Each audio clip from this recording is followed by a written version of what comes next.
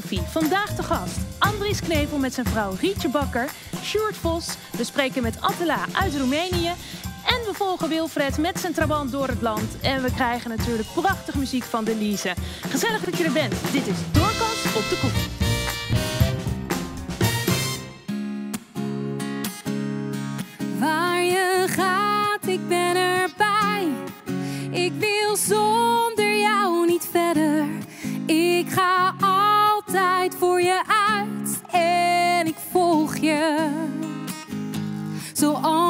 Schaduw bij je blijft, wil ik zonder jou niet verder.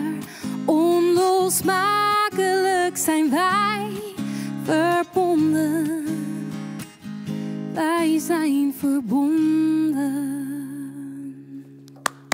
Wauw, Delise, dankjewel. Ja, en jij komt straks terug met eh, nog een nummer. Nou, gelukkig maar. We vieren vandaag het 40 jaar bestaan van Doorkas. En ik mag je in de komende vijf bijzondere afleveringen meenemen in het werk van Doorkas. Nou, we danken natuurlijk allereerst God dat we samen met jou eh, ons al die jaren mogen inzetten voor kwetsbare mensen. Ja, en als je nou reactie wil geven op deze uitzending of je hebt een vraag, uh, stuur het dan in de chat van Facebook of, of YouTube. En uh, daar staat een heel team klaar van Doorkas om al jouw vragen te beantwoorden. Goed, ik richt me even tot mijn gasten. Hallo, fijn dat jullie er zijn. 40 jaar Doorkas, dat is nogal wat, of niet? Dat is een hele lange tijd, ja. ja. Nou, hè? Uh, ja, ik was ooit in het schuurtje in Andijk, uh, zo'n beetje bij de oprichting. Dus oh, kijk die eens. 40 jaar heb Eerst ik uur. op afstand wel een klein beetje meegemaakt. Ja. Precies, en, ja. en wat betekent Doorkas voor jou, Andrie? Um, een club die door mijn werk bij Met de Daad... heb ik de afgelopen tien jaar heel veel met Doorkas ben ik in het buitenland geweest. Uh, ja. Met name bij de allerarmsten, om het zo maar te zeggen, of in de noodhulp. Ja. Een club die heel effectief, uh, heel snel op plekken is uh, waar het helemaal mis is gegaan. Dat is voor Ja. mij eigenlijk Doorkas. Kijk, oké. En uh, Rietje, hoe, uh, hoe denk jij daarover? Ja, nou ja, Andries refereert natuurlijk ook vooral aan de noodhulp. En uh, ik ben dan betrokken bij Adopt a Granny. En Ja. dat is toch echt uh, de wat langere termijn investering in mensen. Ja, Precies. daar ben ik grote fan van. Kijk eens, Ja. mooi om te horen. En uh, Sjoerd, wat betekent Doorkas voor jou? Ja, ik werk natuurlijk bij Doorkas, dus dat maakt op die manier ook een groot deel van mijn leven uit.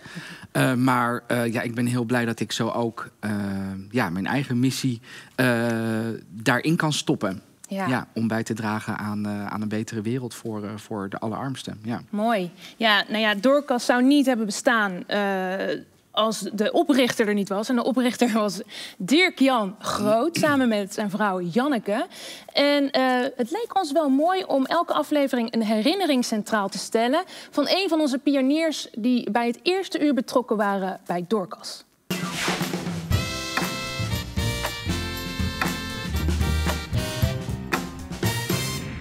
Mijn herinnering aan Doorkas ja, gaat terug naar 1993... Uh, toen uh, was mijn zwager Ruben Timman werkzaam bij Doorkas. En die vertelde aan Dirk-Jan Groot, de oprichter en de toenmalige directeur, uh, dat zijn zwager, ik dus, in Den Haag werkte. En toen belde Dirk-Jan mij op een gegeven moment een keer op in Den Haag en die zei, Joël, jij werkt in Den Haag en wij betalen allemaal belasting.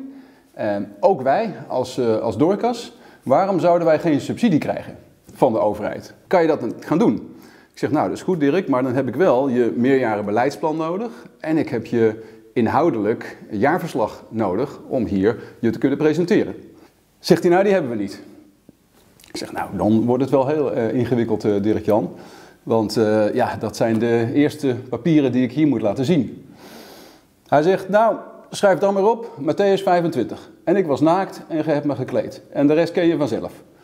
Ik zeg, ja, maar Dirk, dat, het ligt iets genuanceerder hier in Den Haag. Wij moeten toch echt wel een onderbouwd eh, meerjarenplan hebben. Hij zegt, uh, ga het dan maar maken voor ons. Nou, zo is het eigenlijk begonnen en zo ben ik een jaar aan de slag gegaan bij Doorkas om al de beleidsdocumenten die nodig waren voor subsidie eh, te maken. En nu was het dus de eerste aanvraag indienen. En toen we dat deden, dat was voor de subsidie voor Burundi, noodhulp, in 1994. Um, toen kregen we doorwrocht voorstel ingediend en toen kregen we een negatief. Want we hoorden van Buitenlandse Zaken dat zij al zaken deden met zes noodhulporganisaties en de pot was al verdeeld voor de komende jaren. Ik was zwaar teleurgesteld, alle documenten voor niks gemaakt. Dirk-Jan zegt, niet gevreesd, binnenkort komt de minister voor wederopbouw van Burundi langs en die gaat praten met de minister voor ontwikkelingssamenwerking, Jan Pronk toen die tijd. Ga daar nou eventjes een half uurtje mee praten en zeg dan tegen die minister van Burundi dat als Jan Pronk hulp wil geven, dat hij dat via Dorcas moet doen. En zo heeft hij dat gedaan. En wonder boven wonder kreeg ik een telefoontje een dag daarna. We hebben nog eens een keer naar dat projectvoorstel van Dorcas gekeken, van jou. En we vinden het toch wel een goed voorstel. Dus we gaan met jullie in zee. En zo kregen we eerste half miljoen van Buitenlandse Zaken. Ja, mooie herinneringen zeg. Nou, heb jij nu ook zo'n mooie herinnering of anekdote? Mail ons dan naar koffie.doorkas.nl.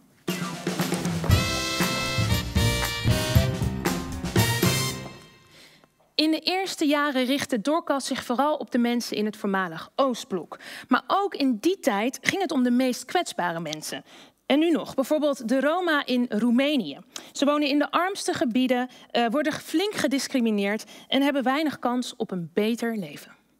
Bună copii, astăzi o să avem o lecție specială. So, avem aici câteva poze. Și acum copiii pun întrebări. Asta este gardul închisorii de la, de la Slobozia. Deci aproape de, de vârsta voastră, că nu, chiar sunteți deja la vârsta asta, nu? Morând, dar au frecvent sau cel mai des rămâneau cu câte o sechelă. Tăiații, mergeau la spital, deci rămâneau cu ceva. Dar au și murit. Unii s-au aruncat de la etaj, alții s-au spânzurat, alții au murit bătuți, tăiați cu cuțitul între ei.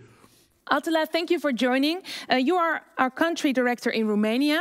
Uh, what is Dorcas doing to improve the lives of the Roma people? Can you tell us? Uh, hi, I'm Hi. very glad and honored to be here uh, with you. Well, we we do what Dorcas does. We are true to ourselves. We are true to our calling. And when there is uh, poverty and exclusion, we try to to help. And as you said in the introduction, the Roma people are one of the uh, most uh, excluded, marginalized, and because of that, poor groups. Uh, and Yeah.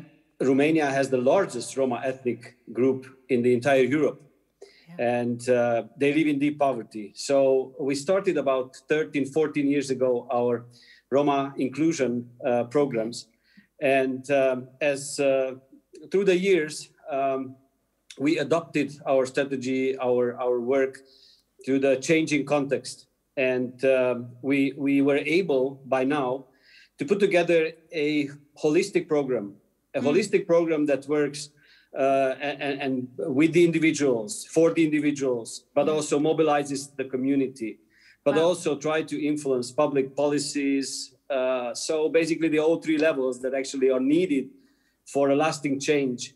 Uh, Yes. so we work with the children um, in the communities.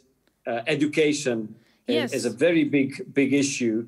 It's one of the problems uh, why this poverty cycle uh, keeps repeating itself. So we have a, a very extensive after-school program, Okay. but also life skills program for the children. We work with their families, uh, mothers especially, but also with the fathers. Yeah. Uh, we work with registration of documents. We work with uh, creating uh, economic uh, opportunities. Please. um, and, and you see a change in the in the development of the children. Do you see a change? Because of- Absolutely, absolutely.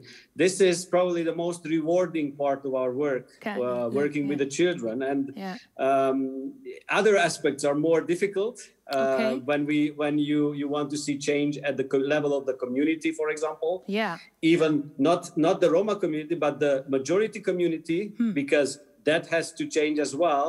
Because Hmm. Okay. the, the, the, the, the root cause is discrimination, you know, uh, Yeah. uh, of, of many of the problems. So in the same time, many things have to change. Yeah. So we have we have different programs for that, and, and one of one of my early experiences that really touched me is when uh, a group of of Roma women uh, Yeah. entered in a, a competition, uh, kind of competition in the village village days Yeah. for the first time first time in the history of the village Yeah. and they formed a group of, of cooking and uh, during Wow. these village days there are several teams that compete for the best meal and Yeah. in the beginning people don't didn't even want to go to the table of the Roma women because Oh, they were thinking, oh, they are dirty and their food cannot be safe. Wow, wow. So it needed a few key people that said to their friends, come, taste the food. Yeah. And, to make a long story short, they won the competition. You're kidding. Um, Re- No, really? no, they won the competition. That's this, This was probably, I don't know, four or five years ago. And Yeah. uh, this is a documented uh, But- uh, event. But they have And these very women, good food, uh, right? Their Yeah, food actually, is food delicious. very yeah. good, absolutely. and the self-esteem that you see in this group, and, Yeah. and how they, the, the Roma women confessed that they it even changed how they walked through the community after that, because people were greeting them. Hey, it was very nice food. So uh, this is what we do. But of course, the whole program Wow. in technical terms is very complex. Wow. Okay. Well, thank you so much for sharing your story, and uh, I'm uh, sending you many blessings for the good work you do there in uh, Romania and for the Roma people. Thank you so much, Attila. Thank you, and we appreciate your support. Thank you so much. Ja, en hoe mooi is het om te zien dat onze collega's in Roemenië eh, de mensen weer eigenwaarde en hoop ingeven. En dat doen ze niet alleen, dat doen ze ook door al die duizenden donateurs en vrijwilligers die meewerken. Dus dank jullie wel daarvoor. Je ziet dat Doorkas ontzettend focust op het contact. Die verbinding tussen hè, de ene persoon in het buitenland en de andere persoon in Nederland. Ik ben Jaap En ik ben Heidi. en wij hebben zo sinds een jaar of 27 hebben wij sponsorkindjes van uh, Dorcas. Wij hadden liefde voor Ethiopië opgevat. En eh, het eerste kindje hebben we ondersteund met onze huiskring. Toen de huiskring veranderde, hebben wij gezegd van nee, als je bier is van ons, die blijven wij ondersteunen. En ondertussen hebben wij ook twee meisjes geadopteerd uit Ethiopië. En we hebben alles op alles gezet om erachter te komen wat hun achtergrond is. En zo zijn we ook tot de ontdekking gekomen dat er ook nog biologische familie in Ethiopië is. Die biologische familie die leeft onder eh, eigenlijk hele Armoedige omstandigheden. armoedige omstandigheden. Ja. Wij hebben die familieleden hebben wij eh, jarenlang ondersteund via onze adoptiestichting. Maar anderhalf jaar geleden is dat, eh, is dat beëindigd. En toen zaten we met een probleem.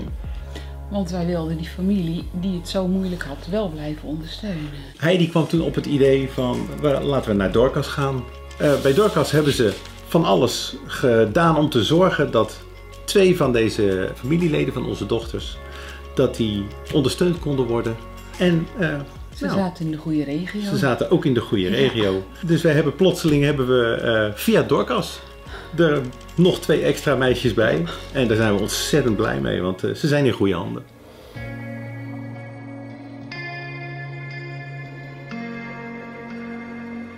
En ik ben weer terug aan tafel samen met Rietje Bakker, Andries Knevel en Sjoerd Vos.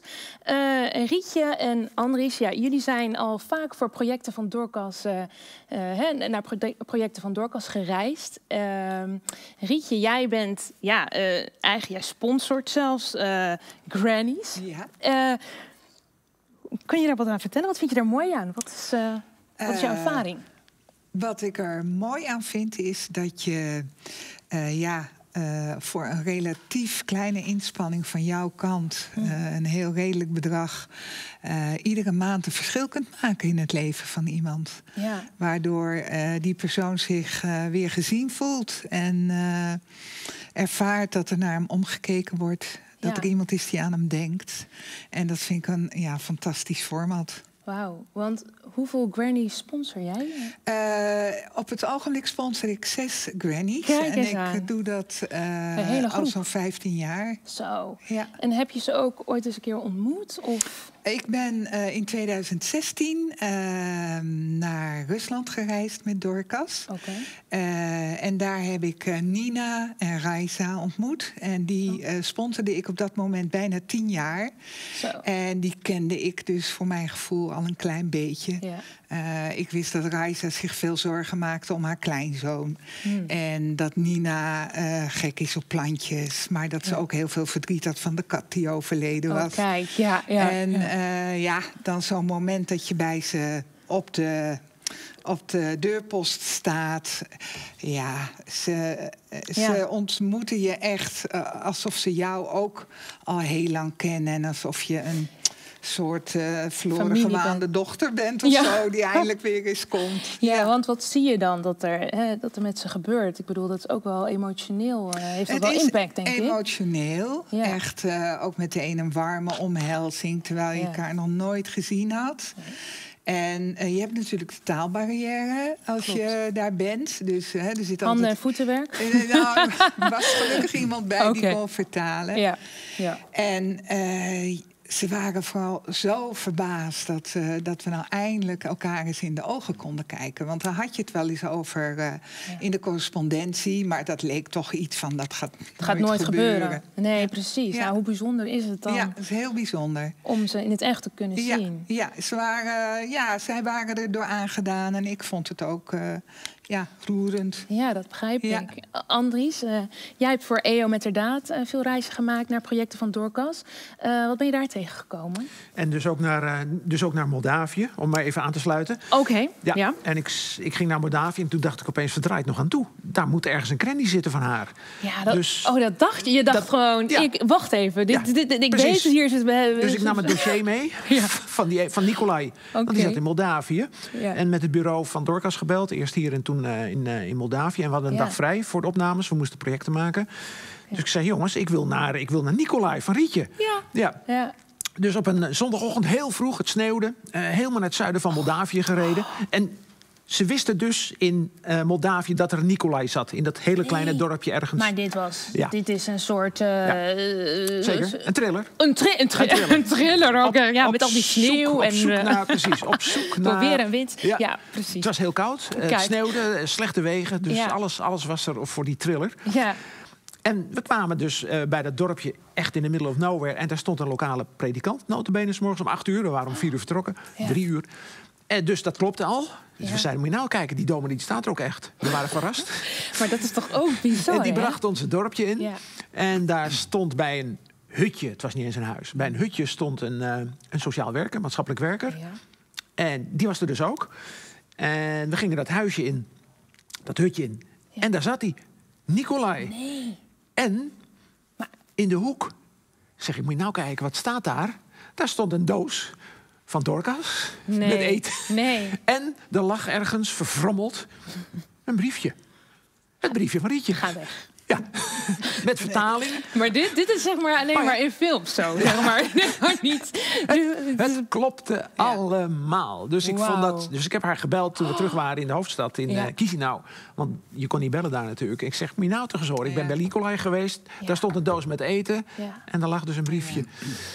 Nou, maar dan zie je Dus- dus, ook dat het echt werkt. Het, het, het, het, hè, wa- wat ze zeggen van sponsor een granny, je hebt contact. Maar werkt. het komt er. Je hebt het, letterlijk het bewijs gezien. Mooi hè? Ja. Dit is toch prachtig? Het, werkte van, het klopte dus. He- Heel ver weg, diep in Moldavië, Ja, klopte het. Dus dat vond ik heel mooi. Ja. Ja, nou Ja. wauw. En, en, en je bent ook nog in Irak geweest, heb ik En eh, ja, gehoord. eh, kan je me daar iets meer over Ja, vertellen? je- we, we waren daar eh, ook met Dorcas, met Ja. de Daad en Dorcas voor. dat was vlak na de val van Mosul, toen de Ja. Jezidis over, uit het Sinjar-gebergte waren gekomen en gevlucht, Ja. naar, gevlucht naar Noord-Irak. En vreselijke dingen hadden meegemaakt. Hè? Die, die meisjes die waren gekaapt en, en verkracht en vermoord op de weg daar naartoe. Ehm, en het was nog niet zo lang ge- gebeurd. Ze waren nog allemaal aan het vluchten, ook in Noord-Irak. En daar was Dorcas. En er waren twee geweldige jonge vrouwen. Twee geweldige jonge vrouwen. Eentje in Erbil en eentje in de hoek. Die daar bezig waren de hulpverlening op poten te zetten... richting de allerarmsten. En ik heb er later ook artikelen over geschreven. Ik heb er zelfs over gepreekt, over die twee vrouwen. Kijk. Want ik vond dat zo mooi, dat twee van die Nederlandse vrouwen... dan zeg ik, oké, we pikken het op en we gaan daar naartoe. En de hulpverlening, de infrastructuur, die was er ook al langzamerhand. En ik- ja, ik heb daar de gruwelijke verhalen gehoord. Ik heb natuurlijk de verhalen gehoord van, eh, van gezinnen waarvan één meisje was achtergebleven. En ISIS had dan de telefoon. En die belde dan naar die Oh, mensen in de vluchtelingenkamp ja, om te ja. vertellen wat er met die meisjes gebeurde. Dus dat, en Oh, ik heb ook een verhaal van eh, een je vrouw. Rillingen Ja. over je Ja. lijf, toch? Een verhaal, eh, dat hebben we gedraaid van een, een vrouw die was ja, een aantal familieleden op de vlucht van het Sinjargebergte naar het noorden van Irak was, eh, was ze kwijtgeraakt. En dat filmpje, dat hebben we ook.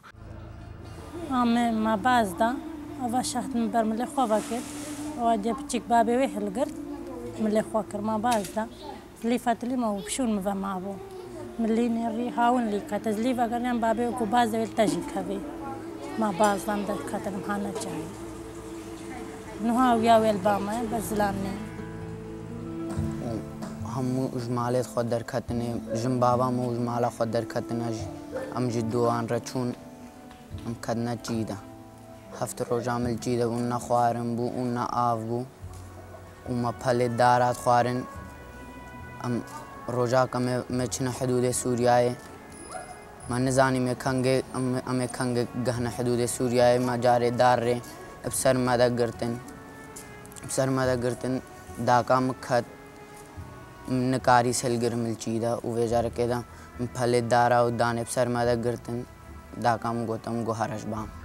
Maar wat gaat er dan in je om als je dat, dus, dat dan ziet, hè, dat hoort?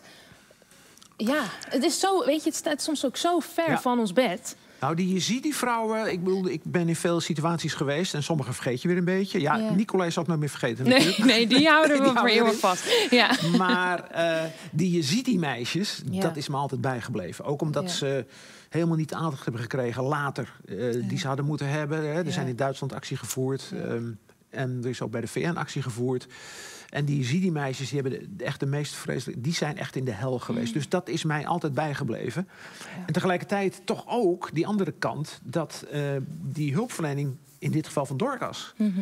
ehm, ja, die was zo ontzettend snel Ja. en effectief. En ook bij de gezinnen, althans de restanten van Mm. gezinnen. Het waren Ja. restanten Ja. die dat echt nodig hadden. Dus ja, daarvan, daar was ik echt diep van onder de indruk. Ja. Bijzonder hoor. Ja. Echt eh ongelofelijke verhalen eigenlijk.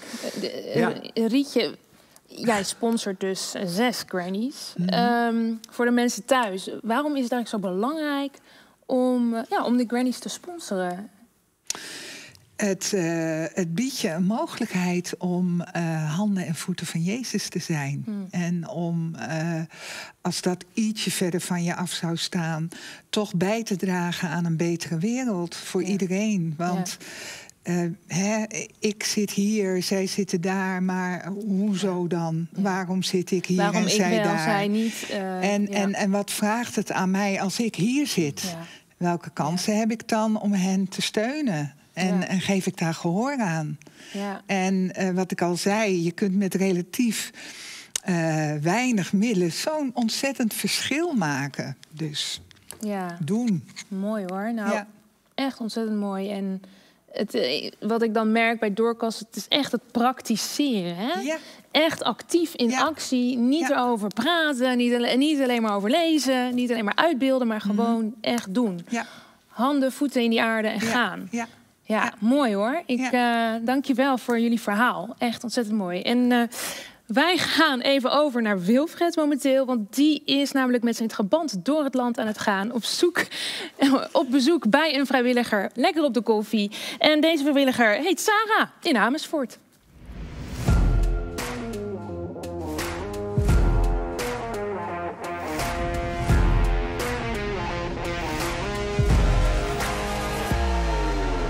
Zijn onderweg naar Sarah in Amersfoort. En zij heeft een fantastische actie opgezet voor Doorkas. Namelijk taarten bakken voor het goede doel. Op de koffie bij Sarah. Kijken of ze thuis is. Tuurlijk is ze thuis. Heb je een beetje zin in taart trouwens?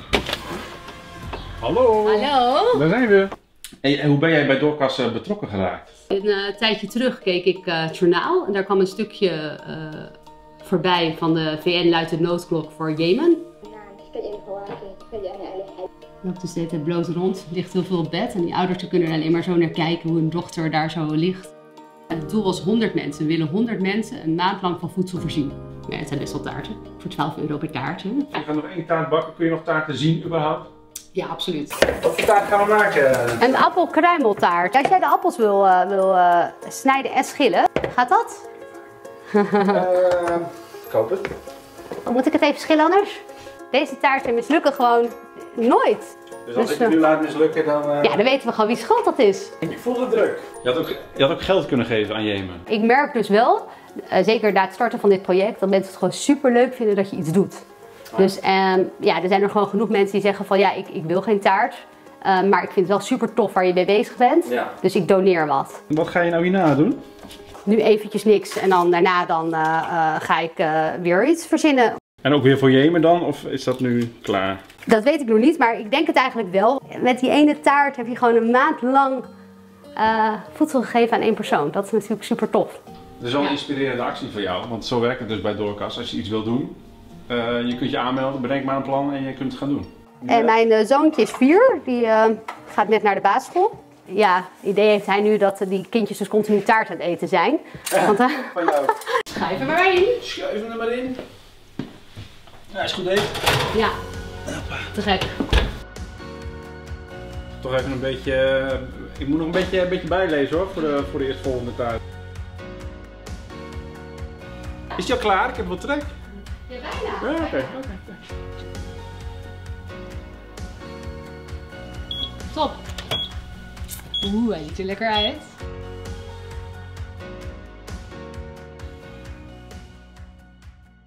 Dan geef ik hem aan jou. Wat een prachtig cadeautje. Dankjewel. Tot ziens, smakelijk eten. Ik ben even gestopt na mijn terugreis van Sarah, want eh, deze appelkruimeltaart kunnen we natuurlijk niet zo laten liggen. Ik heb altijd begrepen dat het appelkruimel heet eh, omdat je een paar kruimels over moet laten. Dus wat mij betreft eet ik hem gewoon lekker zelf op. Ah, lekker. Mm. Dankjewel Sarah.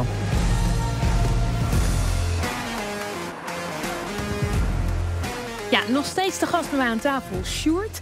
Nou, Sjoerd, eh, ik zie Dorcas is ook actief in Jemen. Eh, ze komen overal, hè? Ze zijn overal. Ja, ja, dat klopt. Nou ja, hier zie je precies aan dat eh Doorkas daar werkt waar de meest kwetsbaren zijn. Hmm. En we zeggen ook wel eens van Doorkas gaat verder waar anderen stoppen. Kijk. En dat is zeker ook het geval als het om, om Jemen gaat. Ja. Wat echt eh, nou, een van de meest eh, vreselijke plaatsen op de, op de wereldbol is momenteel. Ja, ja absoluut. Eh, maar we zijn heel blij dat we daar, dat we daar iets kunnen doen. Ja, en als je nou Rietjes verhaal hoort, hè, die sponsort al zes Ja. grannies. En jij bent een beetje van de sponsoring van Doorkas. Ja, dat klopt. Hoe vind je dat nou om hun ervaring te horen? Ja, dat vind ik heel mooi natuurlijk. Het is hartverwarmend. Mhm. En eh, ja, wat ook heel erg uit, eh, uit die verhalen spreekt, is, eh, is het persoonlijke contact. Ja. En ook dat, dat het de mensen dichtbij brengt. Hè, je, je geeft niet geld aan een goed doel zonder dat je precies weet wat ermee gebeurt. Maar het geeft, je krijgt echt een gezicht erbij, een persoon Ja. waar je nou ja, een relatie mee kan opbouwen. Ja. Merk je dat, het, dat veel mensen, bijvoorbeeld in Nederland, al. hè, loopt dat? De, eh, het project Grannies, is het iets wat veel mensen al doen? Of mag er nog veel meer eh, bewustzijn eh, voor gecreëerd worden? Ja, natuurlijk kunnen er nog veel meer sponsors Ja. bij. Op dit Ja. moment hebben we 5000 gesponsorde grannies. Kijk. Dus dat is al een heel mooi aantal. Zeker. Maar ja, nieuwe sponsors zijn natuurlijk welkom, absoluut. Ja, ik begrijp het. Mooi. En ehm, waarom is het nou zo belangrijk? Ja, ik vroeg het net eigenlijk al een rietje, maar Ja. nu vanuit de sponsoring. Hè, eh, ja, daar ben jij verantwoordelijk Ja. voor. Waarom vind jij het nou zo belangrijk? Ja, nou, ik sluit me natuurlijk helemaal bij Rietje aan. Kijk, eh het Doorkas bestaat ook in navolging van Jezus. Hè? Ja. Eh, om naar de allerarmsten om te zien. Ja. Daarom werk ik zelf ook bij Doorkas. Dus dat is een missie Ja. waarin we met elkaar optrekken. Mhm. En ja, in sponsoring kan je zo dichtbij komen. En eh, waar voorheen eh, we vooral focusten op het individu. Ja. Hè, dus echt op die granny in, in, in haar huisje met, eh, met een voedselpakket of met brandhout voor de winter. Zijn we de afgelopen jaren wel ook meer daaromheen gaan kijken. Hè, dus nu richten we Meer de ons ook- gemeenschap. Of, ja, precies, precies dat. Ja. En dus we, richten, we komen nog steeds bij de granny thuis. We kennen, Ja. we kennen elke granny. Ehm, maar eh, we bouwen ook aan de gemeenschap.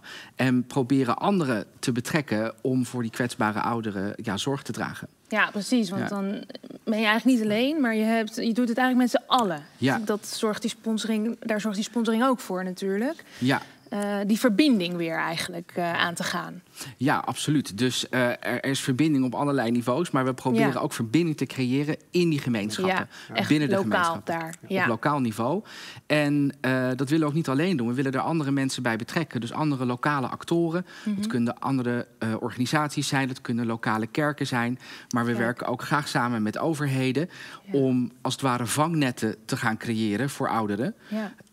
die ja, voor de kwetsbare mensen zorg dragen. En uh, het is de bedoeling dat je dan als doorkast na een bepaalde periode ook kan zeggen: Nou, wij doen een stapje terug. Ja, Zonder... je kan het loslaten eigenlijk. Dat, dat hoop je. dat is het mooiste ja, natuurlijk. Ja. Uiteindelijk zet je daarop in. Uh, zonder dat uh, dan alle hulp voor die ouderen wegvalt. Mm -hmm. Maar dan is het juist mooi als er sociale vangnetten zijn, lokale structuren zijn. Ja, je bouwt iets op. Precies, die die hulp continueren. Ja. Mooi, heel mooi. Nou, dank jullie wel voor uh, deze mooie gesprekken. Ja, het is, alweer, het is alweer een beetje tijd. Ik kijk even naar Delise, daar achter mij. Uh, Delise, jij hebt uh, goed mee, het gesprek meegevolgd. En je hebt een prachtig bijpassend nummer, uh, als het goed is, ja, erbij. Ik heb inderdaad geluisterd naar wat ter sprake is gekomen. En um, het liedje wat ik graag wil zingen is Schel bij mij. Um, en schel bij mij, dat um, ja, kun je eigenlijk van mede, naar je medemens toe zingen. Hè. Kom er bij mij schuilen. Ik ben er voor je, maar je kunt niet alleen zo horen, maar ook vanuit God naar kwetsbare individuen. Mm. Dit is schel bij mij. Mooi.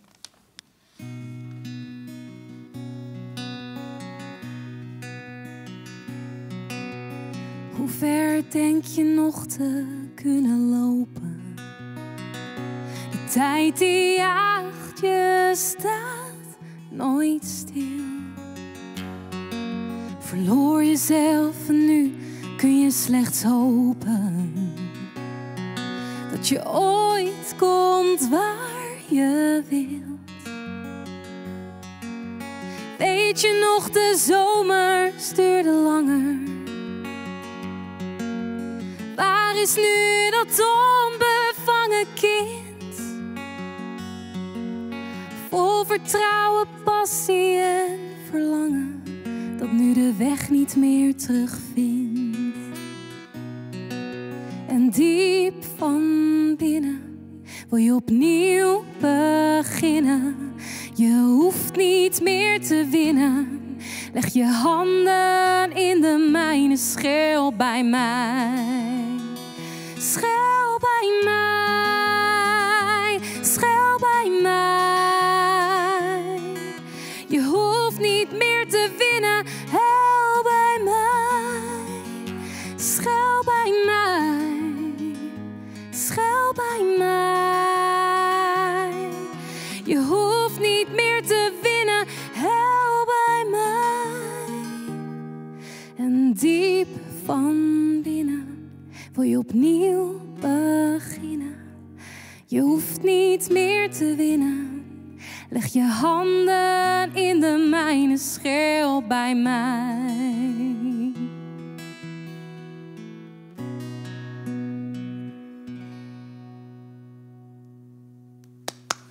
Dankjewel, Delise. Prachtig. Dankjewel. Ontzettend mooi.